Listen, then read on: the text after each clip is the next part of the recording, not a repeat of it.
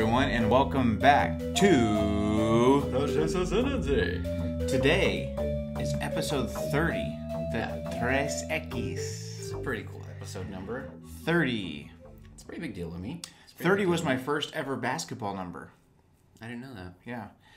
Mine uh, was one Oh, dang, that's pretty because cool. that was the smallest jersey they had. See, kind of on a similar note, I was the only sixth grader on my entire basketball team, so I got to pick last. So everybody was like, I want 23. I want, you know, like all the cool numbers Michael Jordan, Kobe Bryant, you know, whatever, Yao Ming. 23, 24. What was Yeah. Yao Ming's number? 11. It would have been, I, it probably would have been 8 at the time because Kobe hadn't switched his number over yet. Or like 34, I'm Shaquille O'Neal. Oh, 41, I'm Dirk Nowitzki. And I got 30, and I was like, I'm Rasheed Wallace. I'm going to talk the maddest smack to each of y'all. So that was pretty cool. Today, episode 30, here's a little math for you. When you think, how do you divide 30? The first thing that probably comes to your head is 10 and 3. So, it's an interesting little thing. Instead of making a list of 30 things we liked about Star Wars, which would take forever, uh, we decided to do uh, something a little bit different, and we wanted to do 10 things That we love that about we the love big about three. The big three Revenge of the Sith. Revenge of the Sith has been on our minds recently. I don't know if you've noticed that. We've been talking about it a lot. I watched it recently. I just really wanted to. Um, wow, that's a nice sound. Yeah, I'm so excited. I, I'm bringing a. Uh, I introduced Josiah to a new root beer. Sprecher fine brewed root beer. Sprecher. Sprecher ze root beer. Uh, yeah, but anyway, keeping on track. What was I? Th- I think I was reading Plagueis, and that kind of got me on a prequels kick. And then I watched episode three, and it's just so good. And I was texting you like one in the morning, all these different thoughts that I had. Yep. Um, we didn't include this in our list, but I was just talking about how uh, Dooku was kind of a true Sith towards the end. You know that Holding it down for the dark it down. side. He knew that uh, he was about to be replaced by Anakin, and he didn't, you know, blow the whistle on Palpatine right in front of everybody Right. because he recognized that he had been beaten. He didn't deserve to live. Very Sith. Very move. Sith. Very Sith. I like that a lot. So before we get started, any news? Uh, yeah. So Thrawn, the new prequel Yes, Ascendancy. Ascendancy trilogy. Uh, the first book gets released next month, which I'm super, which I'm super excited about. okay, I see you. I think it comes out September. I'll look up the date. I remember it's really close to my birthday. I was gonna say I think it's the maybe the fifth. yeah, really close to my birthday. Okay, keep going. Uh, and that's all I've got off the top of my head. News we've told you, but it's still coming. Um, let's see, September first. September first. That's a good day. So that is a oh, that's kind of cool. Nine one. Nine one. Um, yeah. I'm doing something right now, so that will be the day that I can undo that. What? I'm doing my best not to buy any Star Wars memorabilia. I guess books doesn't Oh. really count, but like Yeah, yeah, figures yeah, and stuff. yeah, yeah, yeah. Um, okay, so uh, check this out. I actually asked you because you always spring it on me. I do have some news. I was just messing with you. I know, Um, I had that little nugget That was good. tucked away just in case. Yeah, what's today? The um today's the 14th. This will air on the 17th. And so you'll be just about 2 weeks away from the new Thrawn book. There have been excerpts that have been released on Which I have not read but neither one of us to. have read or listened to it because we're trying to I just want to want to go in there. yeah, guns a blazing. Yeah. So anyways, I started blasting. Oh, here's the cool news. Marc Thompson, the guy that reads all the Star Wars Oh yeah, he accepted your friend request on Facebook. accepted my friend request on Facebook. That's So, funny. hey, what if we can get him on the show? I'm just saying. that'd be sick. That would be sick. Um, okay, here's a cool thing: uh, Lego Star Wars Holiday Special coming to Disney Plus. So the holiday special that's kind of like the weird Christmas thing from 42 years ago, 1978. They're making a Lego version of it. They're making a Lego version of the holiday special, and it, I don't think that it's going to be like basically a remake, but it's going to pay homage to it. And it comes out uh, this December on Disney Plus, That's and brilliant. it's going to be It's gonna be great because everything Lego does is great. yeah, Lego humor is some of the best, and Lego Star Wars humor is really good. Yeah. Um, Probably the best all-time Star Wars like material joke would have been the Watto selling the red flags Red on Tatooine. flags. Yeah. Hilarious. um, so it's gonna be 45 minutes long. Okay, yeah, that's Uh, nice. It says they wanted to give a wink and a nod to the original, and that it was inspired by beloved holiday movies like "It's a Wonderful Life," "Planes, Trains, and Automobiles," Oh and "Christmas God. Vacation." oh my god, I love all those movies. Three. Hilarious. That's movies. the. That's pretty much the. Um, Those are some of the greatest movies I've ever seen. that's the. That's the trilogy of best Christmas movies. Yeah. It's up there for sure. Um, it says the story will take place. Steve Martin trying to get home for Thanksgiving.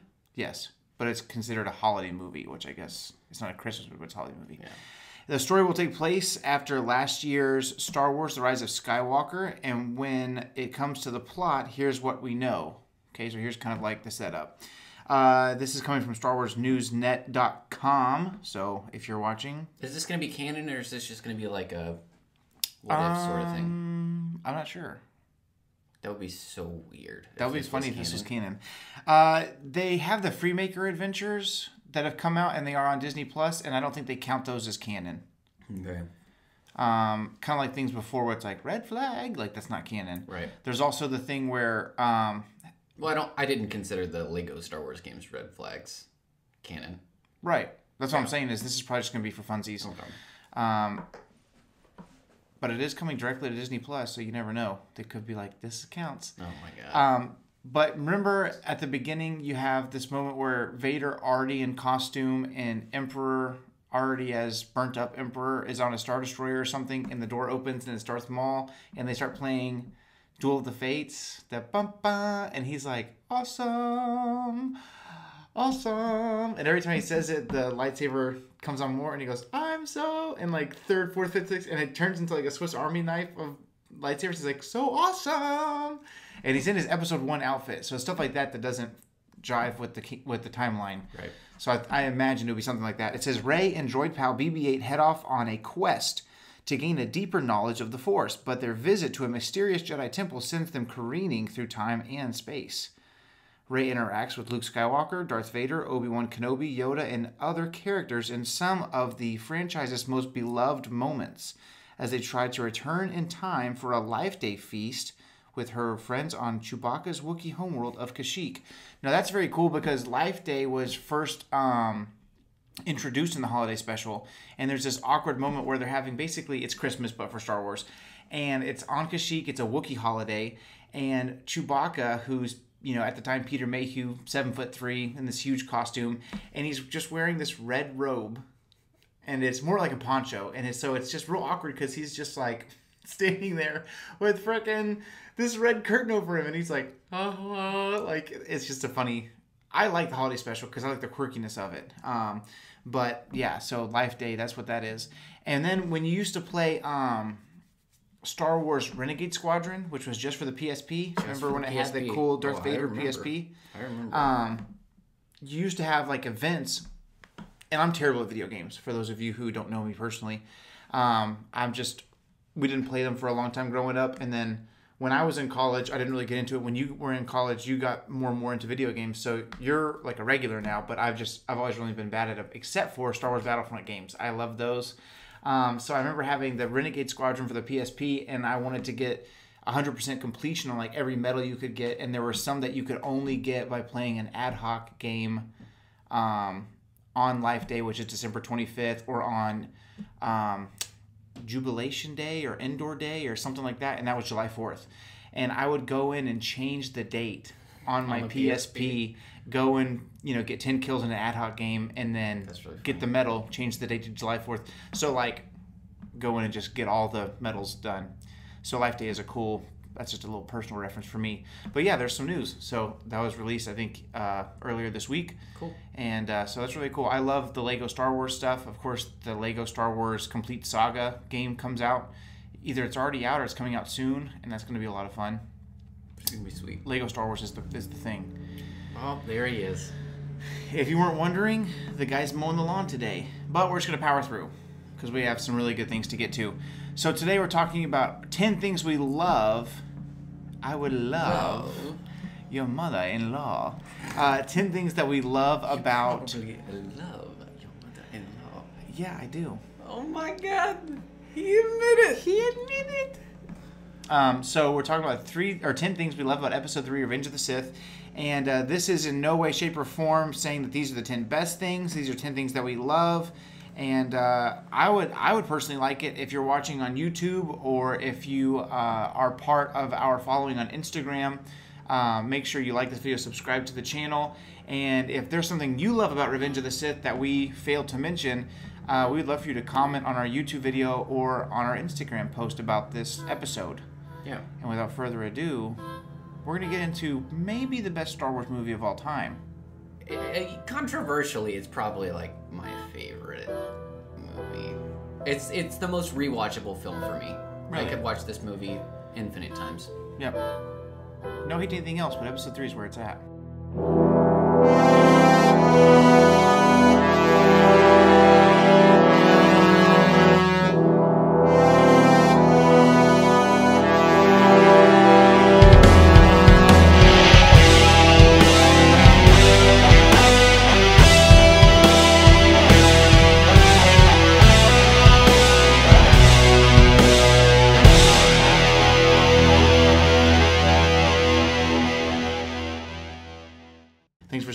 All right, number one. This is this could be the best thing about it, honestly. Um, but the soundtrack, the John soundtrack, Williams. John Williams. Masterstroke. And you know what? If you're John Williams and you think this is at the time you're thinking this That is the the last, last one. one. and I really think that maybe this is his best work He put his heart on the line. because you have obviously you have the thought out there, the mindset that the best one is probably the uh, the original New Hope because that's the original Yeah. introduction of I mean, the Star the- Wars theme and all that stuff. Yeah, but I, here's the thing: is you don't get Vader, the Imperial March. I don't think you get that until Empire, right? Yeah, I think that's correct. So that's probably one of, if not the most iconic Star Wars. wah, wah, Yeah. wah, wah, wah. Yeah, I would say that's that's um, Star Destroyer theme, kind of chasing the Falcon, that kind of thing. Yeah, I think that that's probably one of the most iconic Star Wars tracks. Yep, for sure. But uh, well, and then you got, you know, the Duel of the Fates yep. Man, from Phantom Menace. a lot of people that's their favorite. Is It's, Duel of the it's Fates. iconic, bro. Um, yeah, it's kind of a disservice to say that any one movie is the best sound because they all have such great things Yeah. in them. Um, I remember when I first went and saw. Well, you were with me when I saw Force Awakens. When Kylo's shuttle descends and he goes whom whom bum bum I believe the name of that track is Kylo Ren enters battle. I was I think in parentheses is Kylo's theme. yeah. Kylo Ren arrives at the battle. That's what it is, Oh. dude. Which That's a sick obviously we like because I put it in our theme It's in the theme. Um, so yeah, the soundtrack. Uh, some of my favorite things about the soundtrack are uh, when I first think of, like for instance, obviously the origin the the before the remake of Star Wars Battlefront Two, I loved the original Battlefront Two that came out right as Revenge of the Sith was hitting theaters. Yeah, that would have been the Battlefront 2 2005. Right. And as soon as you turn it in, and you know your console's on, and you hit the menu, and it goes.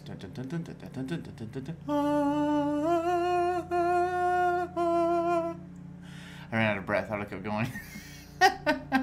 but that's uh, Battle of the Heroes, I believe, and whew, that one gets me. And if you listen to Star Wars audiobooks, they'll put some of those tracks in there too. It's and, awesome. Ooh, get you right. I like feelings. the sound effects. I also like. I'm listening to uh, Scoundrels right now by Tim Zahn, and uh, I like when Chewie talks. And they're like,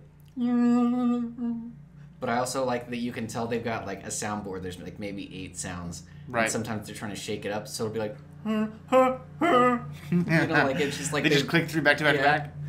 Uh, like, I love it when you can of each other. totally tell it's Cloud City Chewie that goes. You know what I'm talking about? Uh, he's like the sirens are going and it's Yeah. like woo woo woo, and he's like shaking the ceiling. Wow, wow. Dude. Please, for the love of God. Yeah. Um, so yeah, soundtrack is a one. Yeah. Um, is there a soundtrack that's your great. A a soundtrack. A great soundtrack doesn't whiff out the window while I'm driving? Why I'm driving. What's your favorite um, song from Revenge of the Sith? All of them?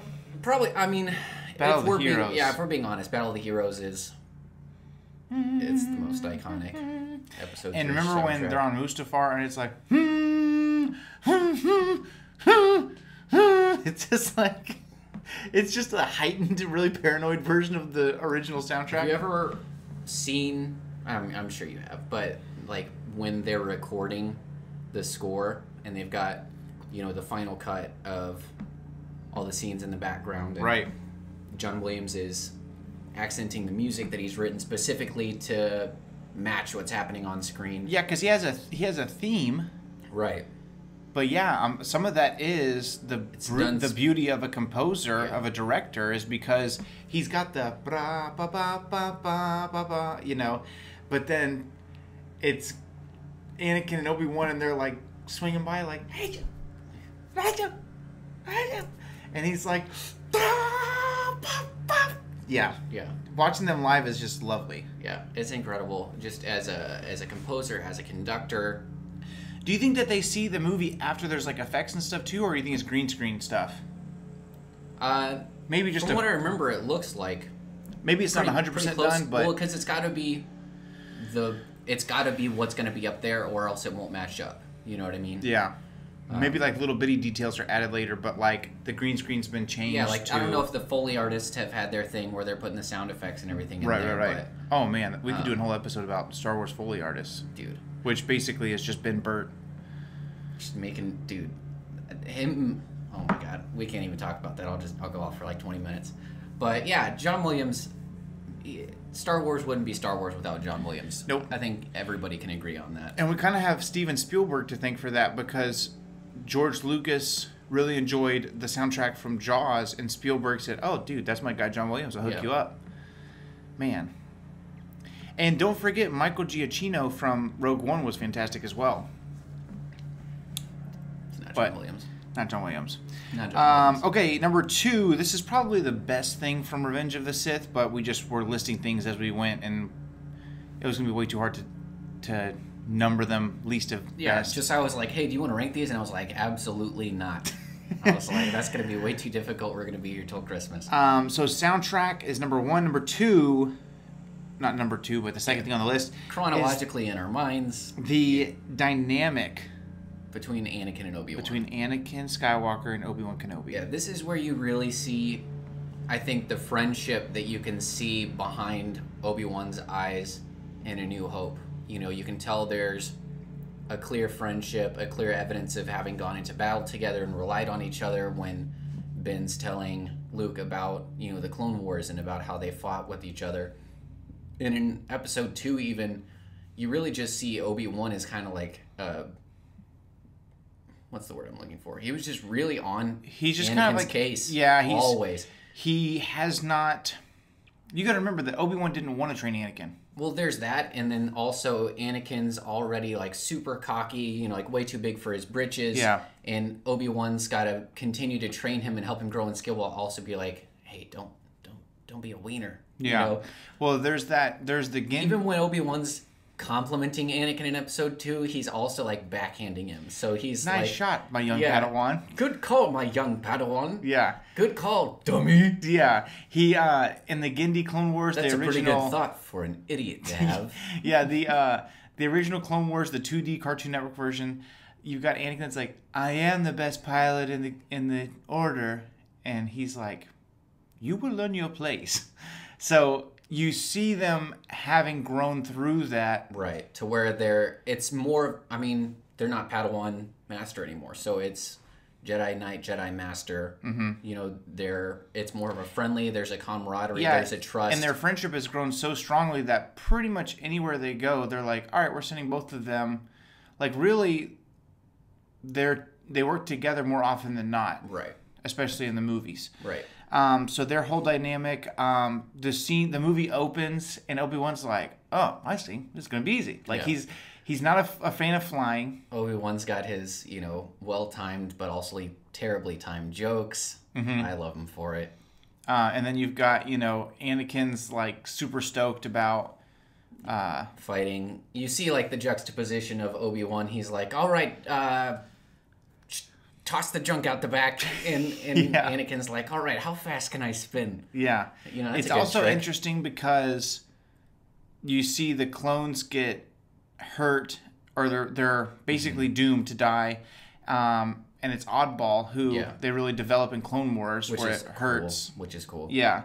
And um, you have that moment where Anakin goes, I'm gonna help him. We're gonna help him and Obi Wan says, They're doing their job, we must do ours. Yeah, And uh, it's interesting because that shows you the strength of Anakin's empathy, Mm-hmm. which, when out of control, is really what cost him in the end. right, So Well, it's just an interesting relationship that you just see throughout the whole movie. right, right. And there's just so many angles you could analyze that. Even at the same time, where you're thinking Anakin's way closer to the Chancellor, and their whole point right now is to rescue the Chancellor, and Anakin's about to put all that on hold just to save this clone. hmm You know, um, And it's interesting because then you have later on in the movie, Anakin is put on the council, but he's not made a master, and he's super mad. yeah, And Obi Wan's really the only person that can go, "Hey, you idiot! yeah. You've been given a great honor." Yeah, and at the same time, he comes along him alongside Anakin a lot more gently Yeah, than you can see it's interesting because yeah. Anakin has grown a lot, but you also see the growth of Obi Wan. Obi Wan as a mentor. Yeah, you and know, as the way that he learns how to handle Anakin better. hmm you'll be made a master in time, Yeah, and uh, just Man. that confident reassurance. I just wish there was like a what if movie that they made if Anakin stayed light. I would love to see. I guess eventually, basically, it would be a bunch of peace. So not a very good movie, probably. It will be. What was I saying? Good.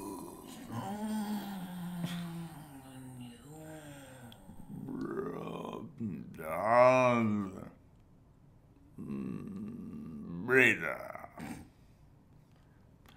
I need to poop. He's. Do you think he was just thinking of that? Like, what's a good word? What's a good word? Blah, blah, blah, blah, blah. Well, what's interesting is that he, Vader, as far as we know from, I mean, I guess it's all legends now, but all the rest of the Sith got to pick their name, Yeah. not Vader. Nope. Assigned. Assigned seating. Um, okay. Sucks. So Anakin Obi Wan, we could go on forever, but we'll move on, um, and we'll come back. There are other these obviously it's all in the same movie, so there are Venn diagrams throughout the list that overlap of again with the Anakin and Obi Wan. Um, number Again with this? three, again with this. Number three, Grievous. Yeah, this was Josiah's one. Take it away. Not that I don't like Grievous, obviously. He's a coward and he will run and hide as he always does. But, As he always does. yeah. Um, okay, here's my thing. Grievous is super dope. And I know that he's kind of a weenie and he runs and he hides as he will always do, but that's my that's my audible Lando slash Mace Windu. Um, but there's Marc just Thompson's like, it's basically the same person. the the uh, just I remember the hype leading up to Revenge of the Sith, and I was He was like, the original Phasma. I was like, don't care. But I guess, I don't know. Grievous was like way less Whoa, whoa, yeah, yeah, yeah, yeah, yeah. Way less underwhelming. Um, and also watching the Clone Wars leading up to Episode Three on Cartoon Network, and I was like, you know, Coyote Money is like, he is unstoppable. He is unstoppable, dude. General Grievous is the man. Well, I mean, he's the Kaleesh, whatever. Um, I love the complication of his story, but where, uh, you know, again, this is I guess this is Legends now, but whatever, it's all real. Um, the thing where he's a warlord, he's a Kaleesh warlord, and he's basically fighting for the freedom of his people. Count Dooku puts a bomb on his ship, but just enough of a bomb that he survives. I don't know how that works, but he Just his vital organs and his eyeballs. yeah, and he basically General Grievous is a freedom fighter, and Count Dooku puts a bomb on his ship, and then when he drags him out of the wreckage, he tells him, "The Jedi did this to you because they don't want you, you know, stirring up the pot." Mm-hmm.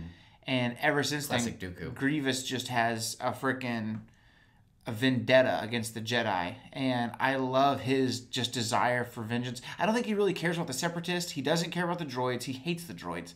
But whatever he has to do to lead the Separatists, he has a respect for Dooku. He has a super respect for Palpatine or Sidious, and he just wants as many Jedi to die as he possibly can. Doesn't care about anything else. Um, My biggest hang up for Grievous has always been that as soon as anyone ever uses the Force, time to abandon ship. Grievous is boned. Yeah, it's Like, true. Anakin or Obi Wan just force pushes him to Timbuktu. yeah. I don't understand why more Jedi don't just do that. I think it's because of the intimidation factor. And I think If I was knows that. intimidated, I would use the Force hundred percent more. I think that he knows that he can get in people's brains, and so he. Uh, it just I don't know. There's so much that kind of shows the falling away of the Jedi. They don't Yeah. trust in the Force, and so Grievous, like that whole thing where him and Obi Wan are about to fight, and he stands up to his full like seven and a half feet tall thing, and he takes his cape off with his cool cross arms like that, and then he undoes two arms into four arms, and he has a lightsaber each of, and then he has his wrist rotating. That's all a show of like, you know, I'm gonna get you, and I think that that feeling of fear overwhelms most most lower Jedi. Um, Not my boy Obi Wan though. not Obi Wan. I like that he's like, oh, what an interesting challenge. Yeah, he looks and he's like, "Ooh, this is this is weird." Um, in the Clone War cartoons, the reason that Grievous has a cough is because Mace Windu. um, he's the got the Force. Chancellor and he's about to leave, and Windu gets on the scene right as Grievous is about to leave. Yeah. And And we all knew Grievous goes, and he does the whole intimidating, I've got four lightsabers thing, and Mace Windu's like, I screw that noise and does like this and makes a crunching sound. Can we talk about how cool Windu was in the Cartoon Network? Oh, dude. Clone Wars series. when he's like, and then he does the whole. Oh, I thought it was cool when he daggum uh, was like just unscrewing all the screws in the robots with Mm-hmm. the Force. That's freaking sick. Very smart. I thought that the use of the Force in the And the original, Clone Wars was way cooler. was off it's a the lot more imaginative. It's yeah, it's very very imaginative. You can tell it's somebody who grew up watching Star Wars because you're like, I would do this as a Jedi. Mm-hmm. You know. Also, somebody who grew up watching Cartoon Network because Shaggy from Scooby Doo made an appearance. Right. Shaggy. Um, and it, yeah, it's interesting. I think that they dialed back the the abilities in the Force for the real Clone Wars because they realized this is too strong. Yeah, they didn't want to Um, have that big of a departure from But. Grievous, yeah, getting back to Grievous, I just thought he was so cool. Here's a funny story. I was so enamored by Grievous that, um, you know, growing up, even though that we had the means to get whatever toys we wanted, our parents still did a good job of like, we couldn't just have everything, you know? And so I can remember wanting a General Grievous toy, but uh, I would see one and be like, oh, not today, oh, not today, not today. And I was kind of, you know, whatever. So I remember it was my mom's birthday, or no, it was Mother's Day. It was Mother's Day because Revenge of the Sith was just coming, about to come out, or had already come out, or whatever. And so our dad had taken us to the mall to find presents for my mom, and uh, and so I was like, I wonder if she would like something from KB Toys. So I went to KB Toys and I found General Grievous and I was like, she would love this. So I got it for her, and she was like, "Oh my gosh, thank you so much." And I was like, "Mm-hmm, you're welcome." And she was like, "I don't really know what this is. He looks kind of yucky." And I was like, "He's very cool. He's very cool." And she's like, "Do you want it?" And I was like, "Are you sure?" And I was like, "If you want, it's for you." And she's like, "It would make me happier if you had it." And I was like, "Well, that's two of us." so I got my mom a General Grievous action figure for Mother's Day. Are we all gonna pretend like that wasn't the plan from the get go? That she just give it back? Yeah, that was the idea. Yeah. Okay. Yeah, yeah, yeah. You think Dad knew? I don't know, but I can remember work uh, being it in the computer just lab. One more step. I can- marathon that was the journey to their divorce. I remember being uh, in uh, whatever grade I was in when Revenge of the Sith came out, and we had computer lab, and every day they'd be like, "Guys, I cannot tell you enough. Stop changing the backgrounds to your computer." And if you do change it, please change it back to the regular blue before you leave the computer lab. And I'd be like, General Grievous, HD pictures, Google Images. And I would put up a picture of General Grievous for my background. And then I would just log out and be like, You're welcome, whoever's after me. Um, so yeah, Grievous just has a special place in my heart. I used to. Uh, I was a teaching assistant when I went to college, and whenever I would teach, I would change the background in a lecture hall in a major four-year university, and so whoever came in there, there was a background in one of the rooms that I taught in. It was like a moose for like a month, and every time I go in there, I go in there for like a different class. I was like, surely they've changed it back by now. Yeah. and it was completely different class, and whoever was teaching would log in, and it would be a moose, and I'd be like, mm-hmm. you're just over there secretly dying because it's a freaking moose on the screen. Yeah, nothing inappropriate, but you just had a little bit of control. Yeah. That's funny. So General Grievous is cool to me, more to me than to you. And I do agree I think he- he's cool. I just think that the Jedi should be more well equipped to handle him. Yeah, that's true. That's true. Uh, so Grievous. Uh, next, Anakin's fall to the dark side. Super important. We all know it was coming because Anakin becomes Darth Vader. Darth Vader is the main villain for all of the original trilogy. Right. Um, and I know Palpatine's in control, but Vader's the one. Vader's the one we were all focused on. Um, so yeah, it was just that was a almost a singularly important aspect of Revenge of the Sith was Anakin's fall. I mean, we've been working up towards it from the Phantom Menace. Mm-hmm. Um, Well, it was also really interesting because you. It's interesting because you know the source material. Um, you know where we need to go, but it takes a certain amount of skill to deliver on that because it's kind of like um, if it's it's similar to if there's just an open ended you know whatever you want to do set you know Star Wars episodes seven eight and nine just do what you want. And um, you know you can be as creative or imaginative or take the story wherever you want and that's fine but I think it takes an interesting and very specific sort of mind to go okay here's where Vader ends up how does he get there right. and then you create episode one where he's this little kid that's like, Are you an angel? Yeah. And it's like, How do we take this sweet kid that literally would consider rather being a Like, he wanted to stay with his mom. And his mom said, It's better for you to go. So he's so sweet and so selfless and so kind. He'd rather continue being a slave to not leave his mom on Tatooine. And you're going to create Right. this the worst person ever out of him. And the other challenge is that you had to create somebody who was good enough that the whole Jedi Order would place their faith in him. Mm-hmm. You know, and then still take that person and make a believable change to the dark side. Mm-hmm.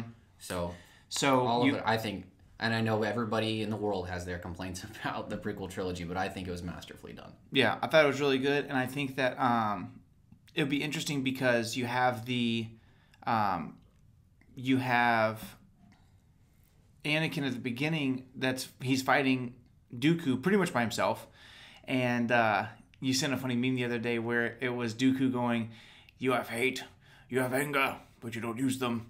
And then it's a meme of Hagrid from Harry Potter going, "I shouldn't have said that. I should not have said that." And that really got me good because right after that, Anakin's like, "Okay, He's like, oh, good point. yeah. Um, and so he starts going at him. And even then, like cutting off the hands, that's all part of battle. Mm-hmm. And he says, you know, good, Anakin, good. Yeah, I mean, this is the figurehead of the entire Civil War. Yeah. you know what I mean. And So- Anakin's saying, I, I shouldn't do it. It's not the Jedi way. And he says he's too dangerous to be left alive. And so he kills him and he gives into the dark, but I don't think he, he at the time he doesn't realize he's given into the dark because he doesn't know who Sidious is. And so that whole starting of um in this moment, I know what's the right thing, but I also know what I want to do. You know what I mean? Yeah. And going that way.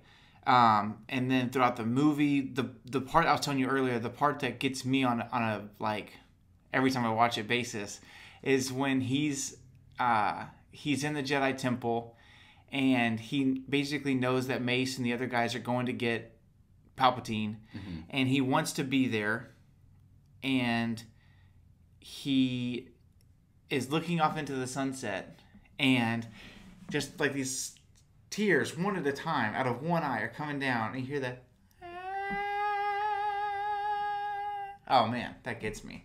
Also um, a little bit of a side note in the legacy of the force book series uh, in the audio version uh, the story of Jacen Solo and anakin skywalker are very very similar and as Jacen is starting to fall and have these conversations within himself of like what he can do, what he should do, what's right, what would cost him, but, what's best for the galaxy.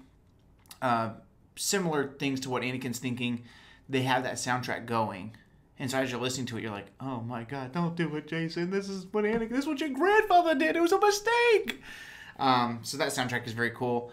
Uh, but just that decision, like knowing that Palpatine is a Sith, but it takes whatever it takes to save Padme, and it's just, it's so tragic, but it's so good. Sucks. Um, but yeah, Anakin's fall to the dark side. Thoughts? I mean, you know, kind of already. Unpacked it. Okay, you take it you take the next one. You take the next one. Order sixty six. Okay, you take it. Uh, no. Uh, when I think of Order sixty six, I think one of the funniest bits to me is that Obi Wan has survived. He's free climbed all the way back up to the tenth level.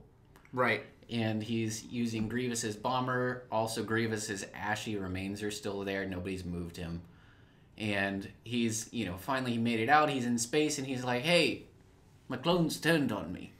You know, like he's Yeah. just like He's flying in Grievous's bomber. and Grievous's bomber, and then he just says it so casually. He's like, "Hey, clones turned, need help." Stop. yeah. Dude, how sad is it when you're Cody like, shot me. Stop. you're like, oh God, who can I even call? I've been calling these clone troopers every day. Bail again? what are you? Well, what are y'all doing? well, heck, what are y'all doing? Oh, it's so funny. Yeah, I get, and that's always puzzled me as well. I was like, why is everybody interested in Bail all of a sudden? Right? I'm pooping. He's on the toilet. Yeah. uh, the one thing that I would, I understand the concept, but with modern technology and just whatever, if I could have a golden ticket and redo any scene from Revenge of the Sith, it would be Order 66. Yeah. I think simply just because we understand how powerful um, Jedi are in the Force now, and we understand their some of the, more of their capabilities um, and things like that. Just specifically, the one that comes to mind is Aayla Secura, who's walking through. I want to say um, She's on uh, Felucia. Felucia, and she's walking, and whoever acted as her, she should have not gotten the gig because she's walking. Bless her heart. If you're out there and you're watching this, I'm so sorry, but she's walking, and it's like, oh, it's just I don't know. I just feel like, you know, I don't know. They should have had some sort of premonition. maybe a premonition of some kind, or just Double vision. Some double vision. Maybe some kind of just put up a better fight. You know what I mean? I thought that the way that they did Ki-Adi-Mundi's scene was very good because he's like, you know, come on. He turns My around. boy Plo Koon got shafted. Yeah, yeah, he did. Um, Which at the time I was like, who's this witch? But now I'm really attached to Plo, and I'm like, ah, yeah, I know. Plo Koon. Yeah, the heartlessness with which the clones are like, got it. Um, so like the ones like Plo Koon, the ships fall back out of frame, and the ships are flying so fast, and the way that they pull back and the firing, like that's one thing. Or the way that uh, I think it's Adi Gallia, and they pull back and they mm-hmm. shoot at her with a speeder, that's one thing. But when it's like, hmm, hmm, man, it's muggy out here, right, guys? Guys, oh, Good thing I like- wore my tube top. yeah, exactly. Like I thought Ki-Adi-Mundi's was good because he turns. So and, specifically, Aayla Secura's death, you would redo. Yeah, yeah, yeah, yeah. I would like to see more Jedi, like just the way that we saw Obi Wan and Yoda fighting the clones. I would like to have seen more fight back before the fall. Because I get it, like even Ki-Adi-Mundi, a Jedi Master, obviously a great you know swordsman and things. Right. He deflects a couple of bolts, but when you have fifty people shooting at you, Right. and they're just on like, all right, I'm gonna go ahead and switch to automatic. Right.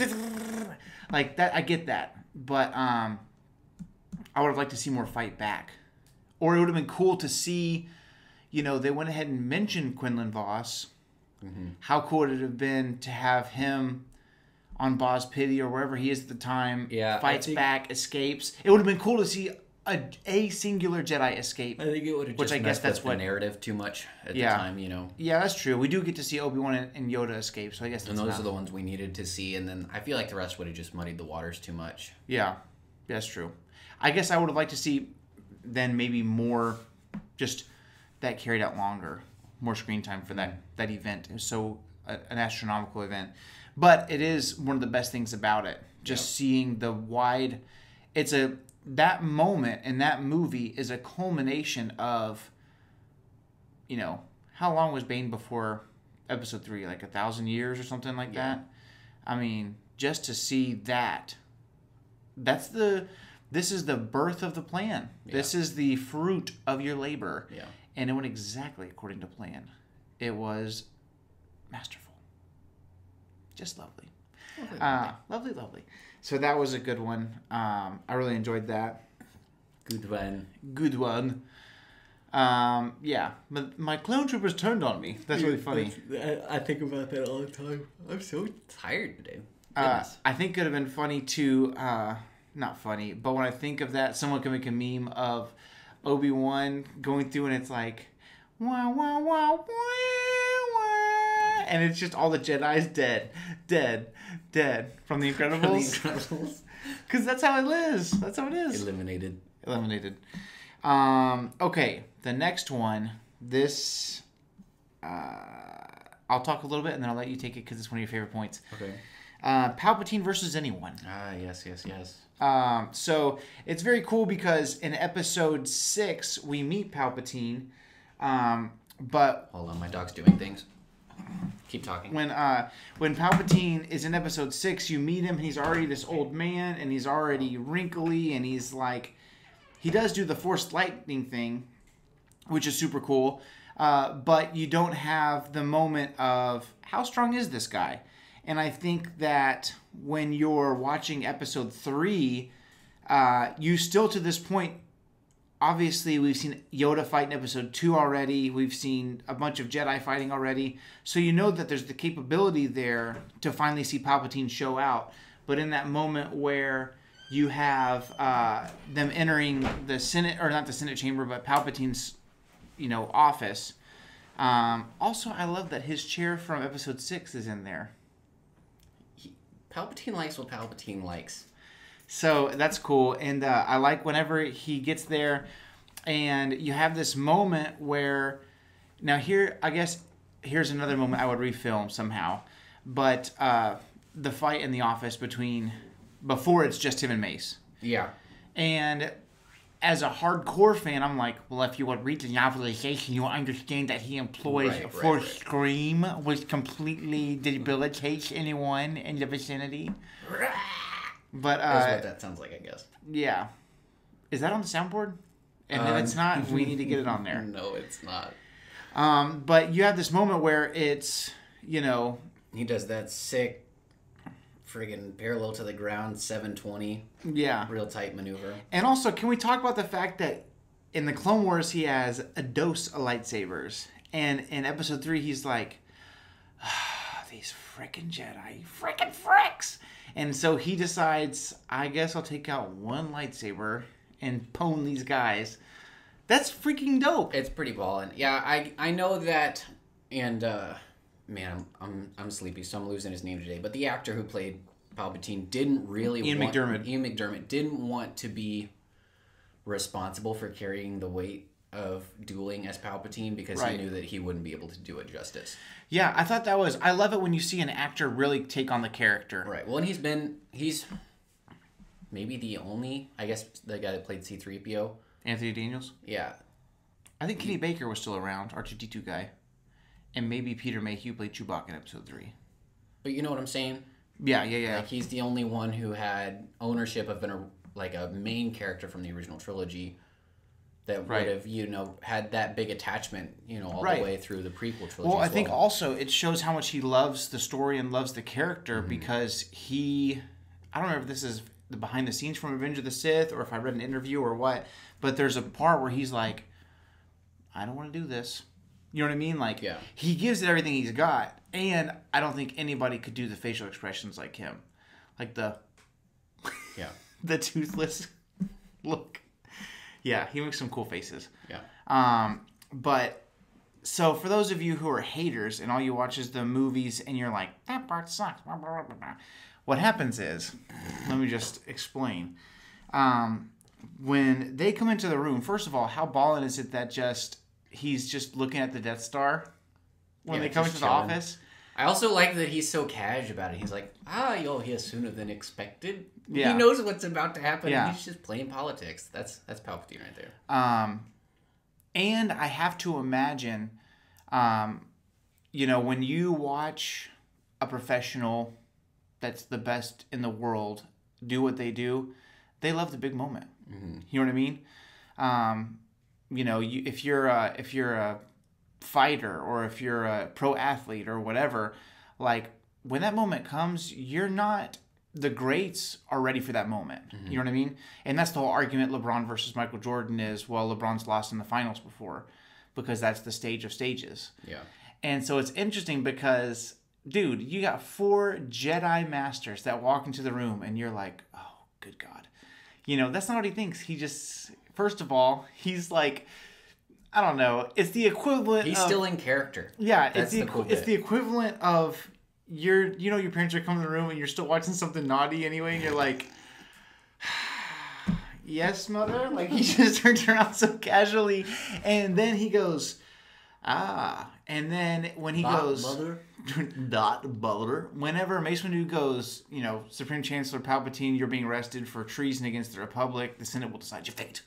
And he goes, I am the Senate. You see his like, he is ready to go. Yeah. And um, Mace is in there too. He's like, not yet. yeah, Which it's like, ah, good one. You know, but at the same time, it's the best he's got. He wasn't ready for this. right. And so when He he, does wake up that, this morning and think he was gonna fight the Sith, lol. yeah, when he goes, bing, and he has it, and he goes, it's treason. Then I was like, oh shizzle. I remember being in whatever, like I said, probably sixth grade, and I remember being like,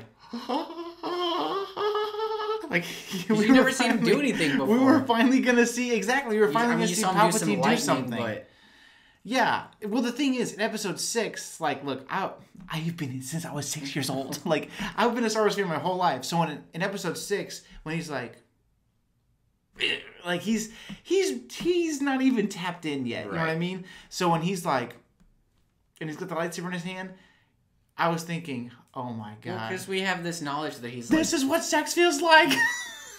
As a sixth grader. we have the knowledge that he's like the most powerful being in the galaxy, and we never to see him do anything. Yeah, and so for those of you, I, I say all that to say, for those of you who are like, yeah, well, it's kind of lame how he kills all those guys so fast. Listen here, you cretin. Uh, first of all, he employs Oh. a force ability called Force Scream, and so when you're like, oh, that's that corkscrew sound. It's not because he's excited; it's because he's employing a force a ability which basically is like a flashbang in the Force, and Mace Windu is the only Jedi Master that's strong enough in the room to be like, "Whoa, what's happening here?" Everybody else is like, "Ding," and he's just like, "Gotcha, gotcha, gotcha." Poor Kit Fisto's like, you know, he's the guy that rode the bull for three three seconds. He's like, "Ooh, ooh, dead." Um, so that's just super sick. And if, If you watch read, Space Force, it's kind of like that scene where uh, Steve Carell's character goes and he's popping everybody's balloons with his uh, nail trimmers. I haven't seen. It's a really out of context thing if you haven't seen it, but that's it's it's a really good reference if you have. so nice. I'm drinking it twice. Anyway, uh, back to what I was saying. Oh, okay. Disregard, huh? You No, I just I've really been looking forward to this part of the episode. Okay, I will like to say that Samuel very graciously allowed me to take a one-word sentence off of our top ten things because I told him we could include it in this moment. So go ahead. So, I know that the whole force fighting thing is cool. The whole like just brush it aside. You know, I get that the lightsaber. Insignificant compared to the power of the dark side.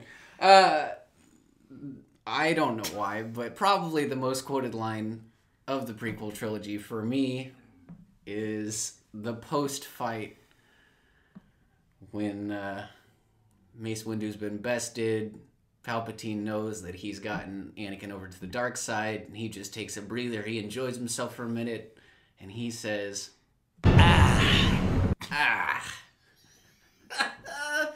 It's the equivalent of there's a game, there's a video game you're playing, and there's one level you can't beat, and you finally do it, and you're like, I'm just gonna have a sandwich now. Yep. Like, but imagine that for a thousand years. He's just taking a nice breather, and I think that that's the funniest thing in the world. He just Ah. You do say It's- that a lot. such a memeable noise.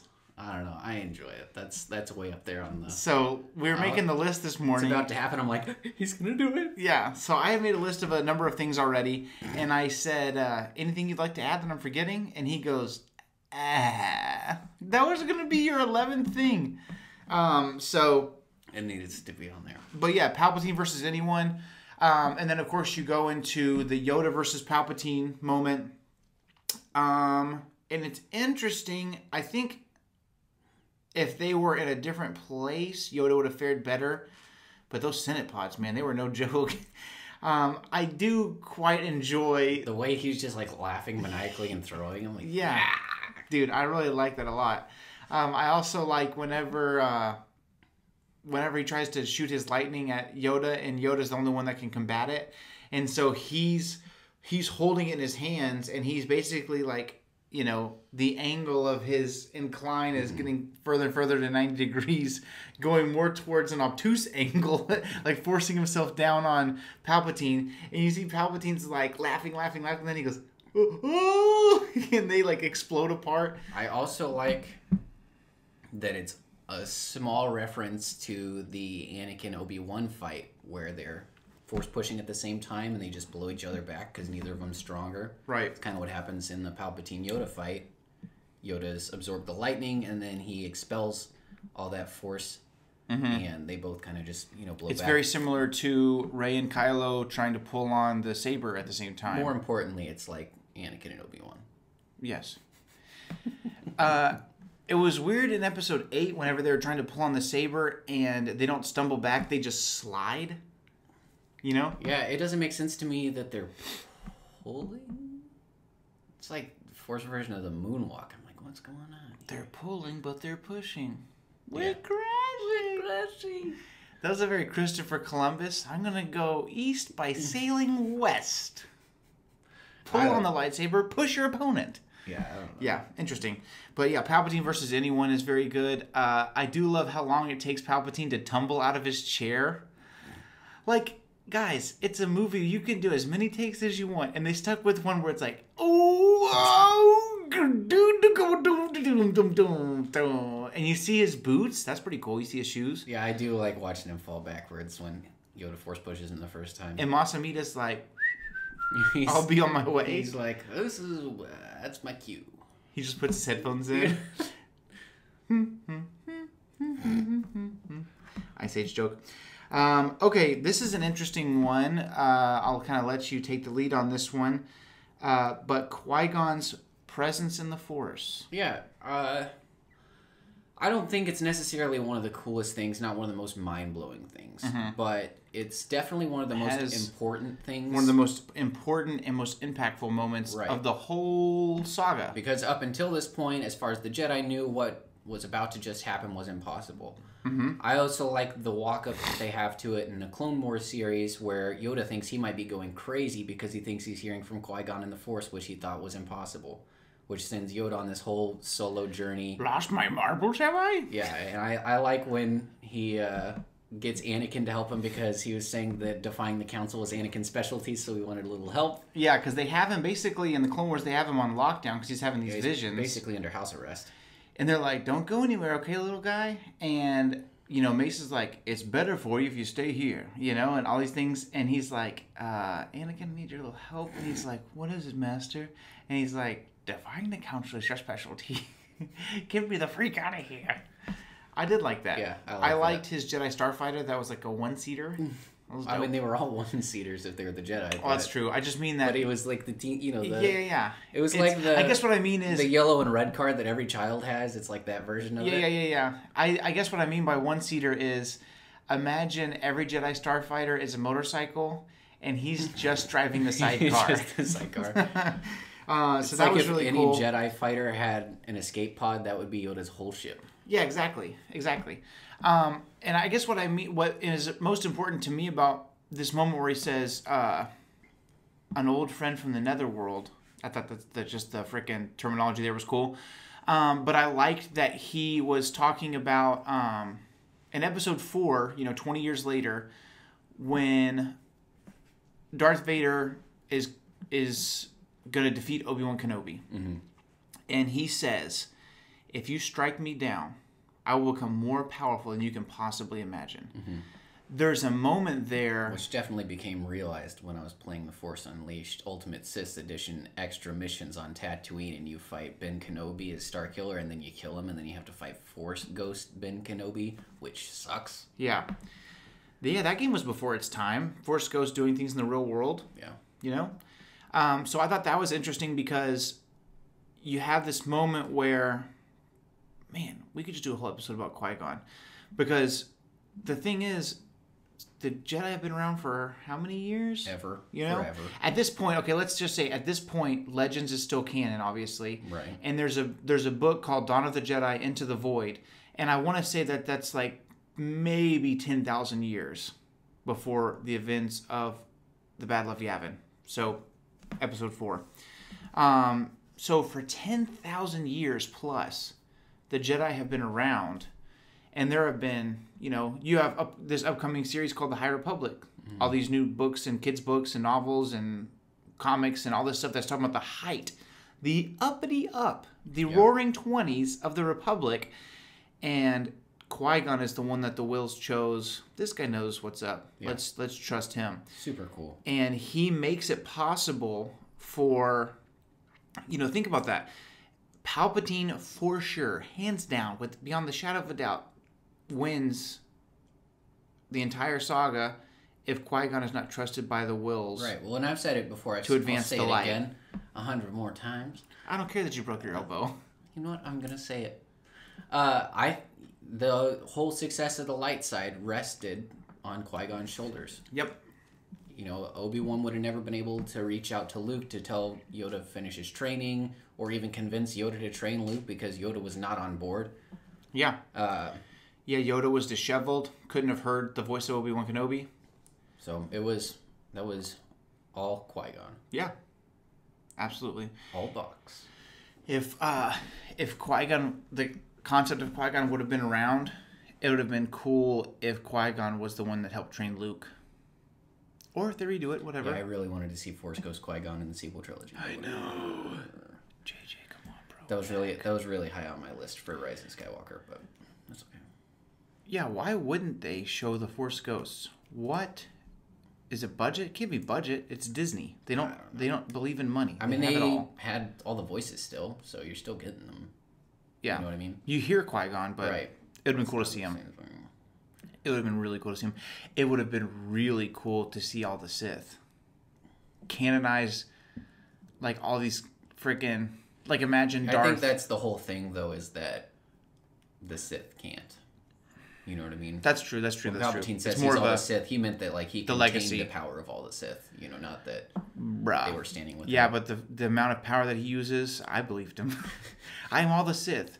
I'm gonna destroy everything. Probably, yeah. So, um, Qui Gon's Force presence, the most impactful thing in the entire Star Wars, other than the Force itself and the Whills. Right, You know what I mean? for sure. The most impactful character I think so. is Qui Gon Jinn. I think so.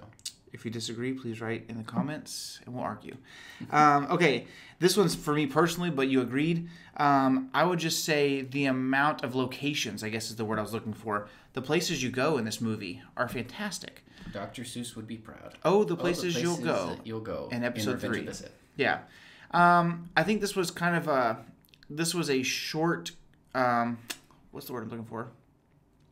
This is one of the shortcomings of uh, the first season of Star Wars Rebels. I was like, can we get the freak off of Lothal, please? I know you love the Loth cats, but can we get get out of here? And the show got better when they started to move, and um, you know, I feel like episode seven, we were on Jakku for a hot minute, and then we were on Starkiller Base. Takodana, you're there for a little bit, but I would have loved to have been more Takodana. Episode eight, um, Taco Tuesday. you st- you start in space. And to me, space is in location. I don't care what planet you're over. Um, episode eight, you are in space, and then you happen to go to um, Canto Bight, and they could have done a lot. I like the idea of Canto Bight, a big casino planet, but I think they, they could have done different things there. I thought that that was a, other than adding DJ to the story, there was just nothing really that came from that scene. Um, and then you have Crait. Wish I could shove my fist through this whole stupid, beautiful town. Yeah, that came out of it, I guess. yeah, lovely. Maybe. Yeah, DJ was the highlight of Yeah, Deej. Canto Bight. Deej was the best addition. Um, and then in episode nine, you do get to be on the uh, Resistance base. That's really cool. That's a cool location. You get to finally uh, being on Mustafar at the beginning, even though you don't realize Mustafar is cool. Being on Exegol is really cool. Um, it's the closest we've ever gotten to being on Korriban slash Moraban on screen. right. So Something I want real bad. that being said, we're talking two or three or four locations When you think tops. Korriban slash Moraban, do you think Egypt? Because that's what I think. Especially when I think about the Valley of the Dark Lords, and that's where all Well, the tombs are. because you can actually see the like location in Star Wars Renegade Squadron for the PSP only. Uh, it's a lot like Egypt if Egypt and Mustafar had a baby. Right, though? But like you think Egypt? Yeah. I think Egypt. Ancient tombs and things Yeah. like that. hmm I'm pretty sure the Sith temple was a pyramid. Something like that. Yeah. Well, then you have you know the holocron. The Sith holocrons are are pyramid in in size or shape. I mean, um, so that's really cool. Um, so the thing in episode three is you just go to so many locations. You have a space battle above Coruscant, and I know I said space battles are all the same, but then you're going into atmosphere, and that's really really cool. That's when you're still flying half a ship. Yeah, you don't get to actually see ships go in Atmo very much, which is a, I just like it's a it's an important part of space travel. It's just something you don't really. And see. Coruscant always fascinates me because there's so much going on. Like when you can just casually have the Millennium Falcon flying in the background and you have to point it out to someone, there's a lot going on on screen. Right. Um, uh, you are on, you know, Order 66 does a really good job about this because you're on Mygeeto with Ki-Adi-Mundi. You're on Felucia. You're on. Uh, the freak Plo Koon was Plo Koon was on. I want to say he was above Cato Neimoidia. I could be wrong. Um, you're on Utapau with General Grievous and Obi Wan Kenobi. You're on Mustafar. You're on Naboo for the very, very end. You're Polis Massa. Polis Massa. Oh yeah, that's a good one. You finally make your way back to Tatooine. Um, my f- personal fave, Kashyyyk. Um, yeah. Such a cool planet. Why in the blue heck weren't there Wookiees with the Resistance in Episode Nine? What the freak, dude! You could have had Wookiees running along the, the top of that Star Destroyer just like everybody else with those horses and stuff, and you could have had Wookiees just ripping Sith troopers' arms off. That'd have been cool. That would have been balling out I've of waited my entire life to see a Wookiee rip somebody's arm off, and I still haven't gotten it. I know it was in a deleted scene It for was- Episode I Seven. know, but it's not there. not there anymore. Um, so the locations, George Lucas pulled out all the stops and was like, "It's my final Star Wars. I'm gonna take you everywhere you want to go." Yeah.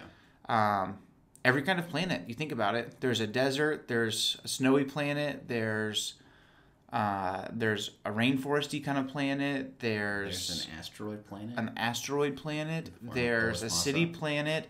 There's a beach planet on Kashyyyk. It's just everything. also Naboo. Naboo's kind of got beachy things. Naboo's got beachy things. It's also kind of like the most earthy, I would Yeah, say. I, I agree with that.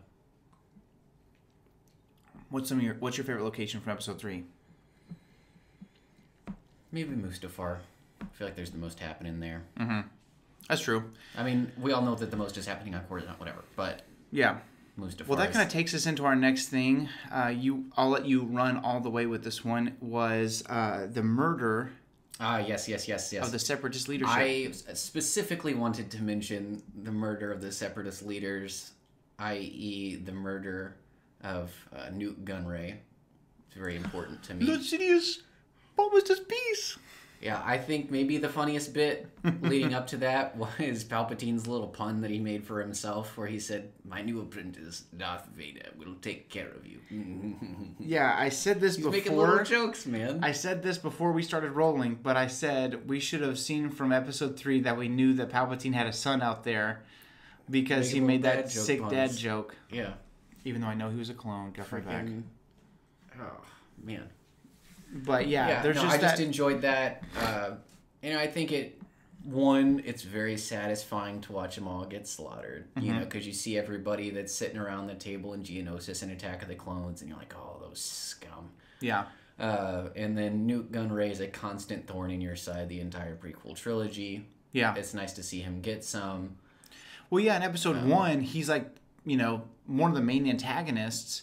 And you find out in episode two that it's like all these trials in the Senate and he kept his trade federation. I was like, oh, this is one of those guys that bought his way out, huh? Right. So he finally then gets what's, have um, what's coming to him. what's his name? The guy in charge of the Techno Union, Wat Tambor. Wat Tambor. You see him get his in the back room. It's so funny because he's uh he's hiding behind that table and like I can just hear him being like Also, no. he can't bend over, so it's where are you gonna hide? Yeah, his whole upper half is like a giant tin, so he's like He's basically in like a daggum steel iron lung, you know, freaking just stuck yeah. upright. Well, he's literally whenever he's hiding, he's bent over the table and he's like Yeah. just staring at Anakin. I think that's freaking hilarious. Um, but yeah, then when you get to see like the anguish in Anakin as well, because even though I'm sure it has to feel good, It Oh, for sure. to. You you know it, it's still painting him. He turns his eyes, and you know you see the Sith eyes for the Mm-hmm. first time, and um, which is crazy. You see his Sith eyes when he's killing the Separatist leaders on Mustafar, which is by far the most justified thing he's done so far as a Sith, and you don't see it at all during his attack on the Jedi Temple. Mm-hmm. That's But- true. Anyway, uh, yeah, no, I, I think that's just for me one of the most satisfying moments of Episode Three. Yeah, it's very satisfying, and it's uh, it's always nice whenever you see a show or a movie do something, and you're like, oh, the loose ends are getting all tied Yeah, up. yeah, yeah. Um, and so that was very cool. Um, when he walks in that room and he's like, Oh yeah. and he's shutting the doors. Or when the battle droid tries to shoot him in the back and he blocks it, Mm-hmm. know, over his shoulder. There's just some really cool stuff that's happening in that scene. Yeah, Hayden Christensen does a great job in episode three. Um, You'll never change my mind. you know, episode two Hayden is is not as good, but again, as the actor, he did exactly what he was directed He did do. exactly what George wanted him to. So you can't really blame him. And if you blame George, you can just get off this podcast right now. Um, so I really loved, uh, yeah, I love that. And I saved the uh, juiciest and most uh, vague for last the tragedy. Tragedy of Darth, Darth Plagueis, the, wise. Yeah, just I was asking you some things that I mentioned, and just like offhand, I was like, obviously, the tragedy of Darth Plagueis the wise. Yeah. because I think that's the most glimpse that we have on screen into the backstory of the Sith.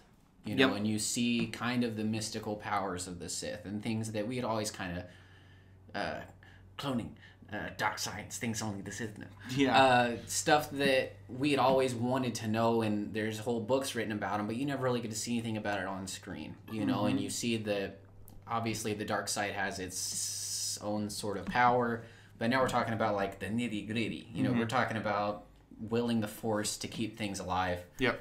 and it's ultimately the juice that gets Anakin the rest of the way. Um, It's interesting because I think it's um, super cool. we were talking about how funny it is when right after the ah moment you have uh, you turn and you look at Anakin and you look back at Palpatine and he's like anyway and he's Yeah. putting up his hood like Yeah, I was watching it after the light of look what you have made, and Yeah. he's got like a whole new outfit from freaking who knows where. Like the Force just brought it dude so imagine Palpatine has his desk right and one whole side is just, Just dedicated to his to his drawer with his Sith robe in it because you have the you know him with Anakin, and then it cuts away, and there's Yoda. We watched it so we could know specifically when it happens. Yeah. Yoda feels up everybody dying, and then you cut back, and Palpatine's already got his robe on. Like, where'd he get it from? right He's just the master of uh, outfit changes. you know you see those commercials on facebook or wherever where it's like a little tiny ball that's hooked up to a person's like belt loop and they're like it's a raincoat what if he just had like his sith robes just micro shrunk into a little ball and he's like i've been waiting I however many would, years I would totally believe that, except for how voluptuous that it is Sith pretty is. it's it's nice and frivolous That's like a. I'm not sure that's the right word. It's kind of. i don't know Uh, frivolous is like just bad spending i'm thinking that it's very um what do you call those things when you have uh it's like a shakespearean shirt just very Frilly? goosey. Yeah, it's very frilly. I guess, the, I guess that's the term I was looking for. Yeah, it's just uh, it's thick. It's like a nice bathrobe. You know what I mean? But it's got the whole cowl. I, I, it's just, it's a nice, it's quality, quality item. It's gotta be burning him up. He's wearing like however many layers, and then he puts another robe on top. You got to think that if you're a user of the dark side, you're always kind of cold. Hmm. Yeah, that makes sense. Like you're cold blooded. You know Yeah. What I mean? Yeah, the tragedy of Darth Plagueis the Wise is interesting. Unless you're immune and you have three hearts, two of which are under voluntary control, and you can keep yourself from freezing to death, Good point. as we saw in Plagueis. Um, it's interesting because now that Plagueis is not considered canon, I really wonder how much of that story, and they haven't ever unpacked it, and I don't imagine that they will in the very near future. But I'm very curious to know what, uh, how much of that story is 100% true, and how much of it is a perversion of the truth to get Anakin's attention. Because Palpatine knows how to say all the right things to get Anakin's attention Right. right after he puts his robe on, he says, Because the Jedi did not trust you, you were not in on the plan. Um, still trying to convince Anakin that the Jedi were trying to overthrow him. I- and then he says, If they find out what happened here, they'll kill both of us and all the senators. Yeah. And that's just another tiny jab at, including your wife, Yeah. Padme, the senator. I think uh, Palpatine's kind of the master of, from a certain point of view. You know what I mean? He takes all the little bits and pieces and makes a half truth. Right. Um, but I feel like Plagueis, I, I just want to believe in my heart that that whole story's true. Right. You know, I would love to get a rehash. yeah, I would love that for sure. Bring back James Yeah. George. Well, yeah, and I mean, like a lot of James's best writing was George's invention. You know what I mean? So, uh, I would like to. I mean, just like we got to reinvent Thrawn, and it was still brilliant. I'd like to get to reinvent Plagueis, um, Right. and I think. Dude, what if um, they made him I like, think not Dark, immune? Dark Lords is canon, Yes. and so Lords of the Sith. Yeah, James took opportunity to kind of re-solidify some of the things about Plagueis in that book as well. Yeah, Um, but James didn't write that one. Yeah, he did. Are you thinking of Tarkin? Am I? Tarkin is written by James Luceno. Lords of the Sith is written by Paul S. Kemp, who also writes Oh. Deceived with Darth Malgus. Maybe I am thinking of Tarkin. Uh, maybe. Tarkin is Oh, I forget the internet's down. canon. Yeah, Tarkin is canon, but I just remember uh, specifically that Plagueis' droid 114D was mentioned uh, in service to. I think it's Dark Lords because it's right up in that period of time. But that's not written by James Luceno. Yeah, I know. Maybe, maybe it is Tarkin, and it's when he's You mentioned it when we, when we did the Tarkin episode. It is because he. It's when he's going underground. Yeah. Into the Sith shrine under the Jedi Temple, which is pretty ball. Ooh, hoo, hoo. Yeah. Um. So Anyway, those are 10 things we love about Revenge of the Sith. about Revenge of the Sith. Um, yeah, just one of my favorite. It's it may be my favorite Star Wars movie. I always say Empire Strikes Back, but Re- Revenge of the Sith is right there. I feel I don't know. Just for me, like I said earlier, Revenge of the Sith is the most rewatchable film for me. Yeah. I can just watch it endlessly. Yeah, it's very good. Um, and of course, you have the whole like, "You were my brother, Anakin." Oh yeah, You know all that stuff. God, just gets you right in the feels. all the highs, all the lows. Mm-hmm. And then finishes right where it began, because again, this was the last movie at the time. Yeah, twin sons right. and uh, as controversial as which is funny being on because Tatooine yeah, I was about was, to say Rise of Skywalker did the same thing. as controversial as that was, I thought it was nice, but it just because it, tech it is a rehash. You know what I mean? Mm-hmm. Like you know when you it, it, it's kind of like it's kind of like Mormonism. You know, it's like we'll add another thing on there. It's almost know? just like history in general. You know, you see those, you just cyclical things Yeah, in history. I just think that the same battles, same wars. I think that if you have grown up having already seen Star Wars and you've watched episodes four, five, and six, and then you watch one, two, and three, it's almost like A New Hope being the starter bookend and Revenge of the Sith being the last bookend makes sense because of how they were released. And so you start on Tatooine, you finish on Tatooine. You have Luke in episode four looking off into the twin suns, and then you have a young Uncle Owen and Aunt Beru looking out into the twin suns holding Holding Luke. baby Luke, and um, that's actually uh, Joel Edgerton who's actually a very famous actor now, but he that's kind of a smaller role back in the day. Um, it's just a great movie. It's a great movie, and it it ended the saga well before we reopened it with Disney. And I like the movies that Disney has put out, but these ones just feel a little different, you know. Yeah. So I loved Rise of Skywalker, but man, Revenge of the Sith, whew, All hail King George. yeah, can't beat it. Uh, so I think that is it for us. That's it. Episode 30, the 10 things we love about Revenge of the Sith. Don't forget to like this video, subscribe to the channel, share this video, tell your family and your friends about us so we can get rich and famous and do this full time. And uh, we'll see you guys next week. May the force be with you. And remember, the only family you have here is me.